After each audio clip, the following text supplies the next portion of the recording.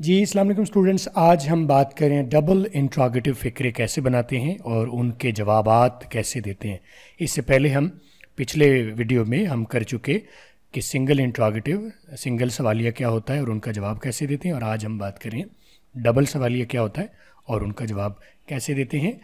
और मेरा नाम है अकमल और आप किसी वक्त भी, कोई भी आपको हेल्प चाहिए इंग्लिश लैंग्वेज के ऊपर गाइडलाइन लेना चाहें सपोर्ट लेना चाहें यू आर ऑलवेज़ वेलकम मुझे मेरे नंबर पर आप रब्ता करें। I be there to help you out और अगर ये आप वीडियो पहली मरतबा देख रहे हैं तो डोंट फॉरगेट टू सब्सक्राइब ये नीचे रेड कलर का बटन आ रहा है। इसके साथ ही एक बेल आ रही है, उसे भी ऑन कर लें। वीडियो को लाइक कर दें और अपने सोशल मीडिया पर ज़रूर इसे शेयर कर दें।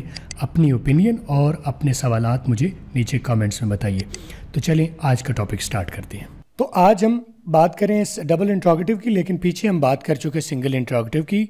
डबल इंट्रोगेटिव क्योंकि सिंगल इंट्रोगेटिव से रिलेटेड है मिलता है तो पहले हम पहली स्लाइड में हम सिंगल इंट्रोगेटिव को डिस्कस करें।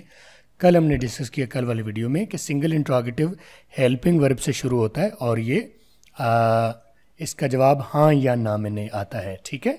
क्या आप जा रहे हैं? Are you going yes or no में आप सवाल कर सकते हैं। इज़ शी रीडिंग क्या वो पढ़ रही है? हाँ या ना में? या यस या नो में जवाब दे सकते हैं।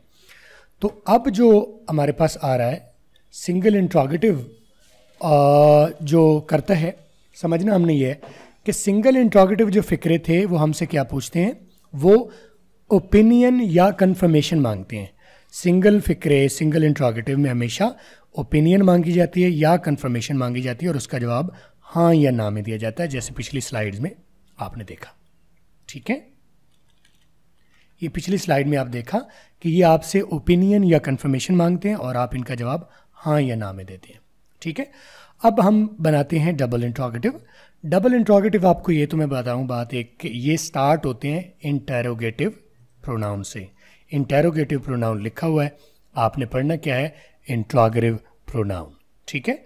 डबल इंट्रोगेटिव जो है, वो इंट्रोगेटिव प्रोनाउन से स्टार्ट होते हैं और इंट्रोगेटिव प्रोनाउन क्या होते हैं?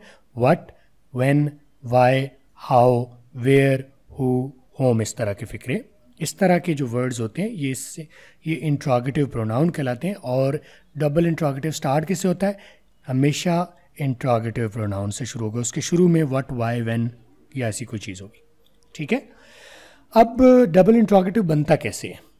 ये ऊपर मैंने जो लिखा है, आप देखिए डबल इंट्रोगेटिव बनता क्या है कि पहले से सिंगल इंट्रोगेटिव जो होगा, उसके साथ हम प्लस कर देंगे इंट्रोगेटिव प्रोनाउन यानी हमारे पास जो सिंगल सवालिया पहले फ़िक्रे मौजूद हैं, उन्हीं के साथ हम सिर्फ़ एक वर्ड ऐड करेंगे इंट्रोगेटिव प्रोनाउन ठीक है? यानी इंट्रोगेटिव प्रोनाउन सिंगल इंट्रोगेटिव के स्टार्ट में आप लगा देते हैं तो आप बना लेंगे डबल इंट्रोगेटिव आगे देखें, हमारे पास फ़िक्रा मौजूद है, वही वही फ़िक्रे तकरीबन, उसी तरह के। क्या आप खा रहे हैं? आर यू ईटिंग और इसका जवाब क्या बनता है? येस या नो में। येस आई एम ईटिंग या no I am not eating और इसमें पहले से आप देखें हेल्पिंग वर्ब मौजूद है, वहाँ क्या मौजूद है? और अंग्रेज़ी फ़िक्रे में आर पहले मौजूद है। पहले से ये सिंगल इंट्रोगेटिव फ़िक्रा है मौजूद। और इसको जवाब देने के लिए मैं क्या करूँ? इसके साथ, ये देखिए, आर पहले से मौजूद है, मैंने वट पहले ऐड कर दिया। इंट्रोगेटिव प्रोनाउन एक ऐड कर दिया। आर यू ईटिंग मैंने अब क्या कर दिया? वट आर यू ईटिंग अब आर भी इंट्रोगेटिव के लिए यूज़ हुआ यहाँ पर, शुरू में, फ़िक्रे के शुरू में। और वट भी हो गया तो ये हो गया सिंगल इंट्रोगेटिव यहाँ से हो गया और डबल इंट्रोगेटिव आपके पास आ गया एक इंट्रोगेटिव प्रोनाउन लग के अब आपको यह पता चला कि डबल इंट्रोगेटिव क्यों हुआ? क्योंकि सिंगल इंट्रोगेटिव पहले से है, उस सिंगल इंट्रोगेटिव में देखिए ये वही चीज़ है। Are you eating are you eating और मैंने वट लगाया। क्या आप खा रहे हैं? और अब क्या होगा? आप क्या खा रहे हैं? ठीक है? आप क्या खा रहे हैं? ठीक है? तो आगे फ़िक्र है मेरे पास। आर यू गोइंग क्या आप जा रहे हैं आर यू गोइंग तो यही फिक्रा आर यू गोइंग है इसके साथ मैं एक इंट्रोगेटिव प्रोनाउन लगा दिया आर यू गोइंग पहले से और मैंने वैन साथ लगा दिया आप कब जा रहे हैं आर यू गोइंग क्या आप जा रहे हैं वैन आर यू गोइंग आप कब जा रहे हैं ठीक है आप क्या आप जा रहे हैं और आप कब जा रहे हैं क्या आप जा रहे हैं मैं पूछी जा रही है माल कन्फर्मेशन क्या आप जा रहे हैं या नहीं जा रहे हैं यानी मालूम है पहले से कि जा रहे हैं लेकिन कंफर्म करें कि आप जा रहे हैं कि नहीं जा रहे तो हम कंफर्म उसमें करें और डबल इंट्रोगेटिव में हम क्या पूछ रहे हैं? क्या आप जा रहे हैं? हमें पता नहीं है कि जाना है या नहीं जाना। हम मालूम ले रहे हैं। कहाँ जा रहे हैं? हमें पता नहीं है जाना भी है कि नहीं जाना, और कहाँ जाना है ये पता नहीं है। हम ये मालूम ले रहे हैं। वेन आर यू गोइंग आप कब जा रहे हैं? आगे है, क्या आप जा रहे हैं? फिर वही फिक्रा आर यू गोइंग वही फिक्रा, अब मैं वेयर आर यू गोइंग वहाँ था वेन आर यू गोइंग यहाँ मैंने कर दिया वेन आर यू गोइंग आप देखें आर यू गोइंग पहले से है फिक्रा इसमें मौजूद, और वेयर इसमें लगा के हमने इसको डबल इंट्रोगेटिव कर लिया। क्या आप जा रहे हैं? अब हम क्या करें? आप कहाँ जा रहे हैं? राइट तो सिंगल इंट्रोगेटिव में कंफर्मेशन हो रही है, और डबल इंट्रोगेटिव में आपसे पूछा जा रहा है कि आप कहाँ जा रहे हैं? ठीक है मालूम पूछी जा रही है। अब सिंगल इंट्रोगेटिव मेरे पास फिर फिक्रे हैं। डू यू मेक टी क्या आप चाय बनाते हैं? ये चाय बनाती हैं। How do you make tea आप कैसे चाय बनाती हैं? ठीक है? आप चाय, क्या आप चाय बनाती हैं? सिंगल इंट्रोगेटिव है। और how do you make tea आप कैसे चाय बनाती हैं? यहाँ कैसे करना है आपने? यहाँ तो मैंने ठीक लिखा है। ये लिखते वक्त गलती होगी हमसे। आ, आप कैसे चाय बनाती हैं? या where do you make tea ये भी किया जा सकता है। आप कहाँ चाय बनाती हैं? आप कहाँ चाय बनाती हैं? How do you make tea आप कैसे चाय बनाते हैं? आप कहाँ जा रहे हैं? मेरा ख्याल ये फ़िक्र मेरे थोड़ा सा एंट्री गलत होगी। How do you make tea यहाँ आपने क्या करना है? आप कैसे चाय बनाते हैं? ये लिखा हुआ गलत है ज़रा। ठीक है? आर यू गोइंग क्या आप जा रहे हैं?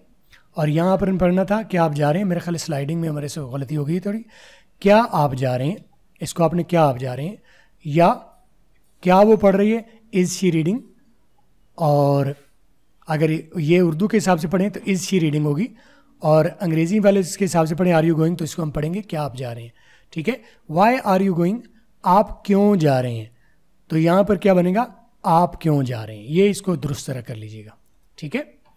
आर यू अ स्टूडेंट क्या आप एक तालब इलम हैं? क्या आप तालब इलम है? यहाँ पर करेंगे, क्या आप तालब ये थोड़ी सी गलती यहाँ पर हो गई है, इसको दुरुस्त कर लेते हैं। मैं कोशिश करूँगा एडिटिंग में इससे दुरुस्त करवा दी जाए।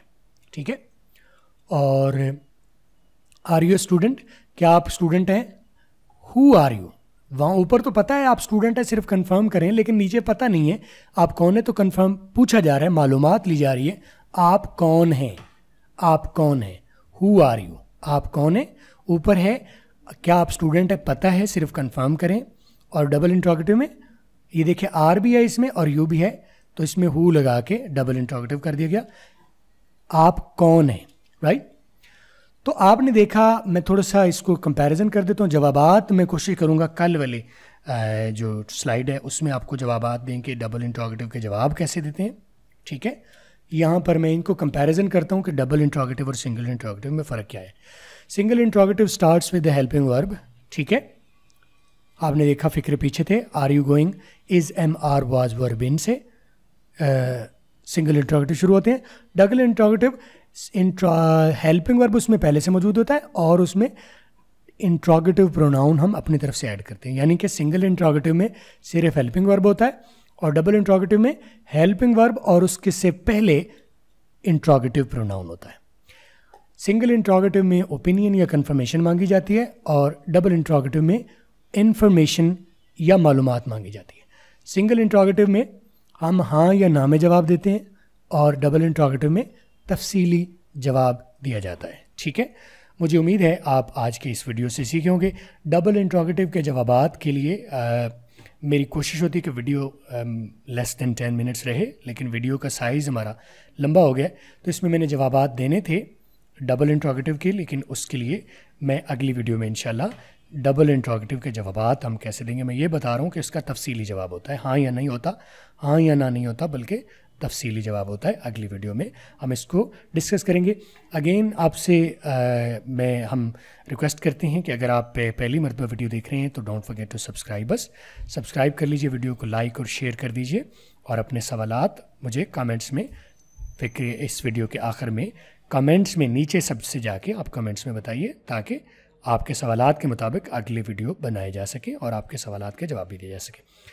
आप लोग देखिएगा, सीखते रहिएगा लाइक और शेयर करते रहिएगा।